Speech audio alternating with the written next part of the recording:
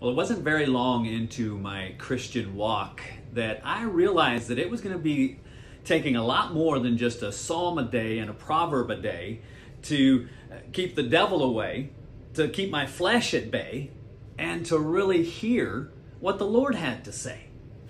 And I know that if we need to hear anything in this world that's filled with noise, is we need to hear from God. I wanted to share something with you in Joshua chapter 1 and verse 8. And I want to read it to you from the Bible, just so you can make sure that it's there. And this is what it says It says, The book of the law shall not depart from your mouth, but you shall meditate on it day and night, that you may observe to do according to all that is written in it. Why?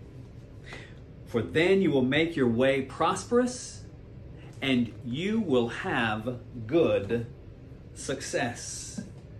Well, in a world driven for success, that expects success, granted, completely different from the Bible's description of success, we need to be in God's Word. We need to hear from His voice.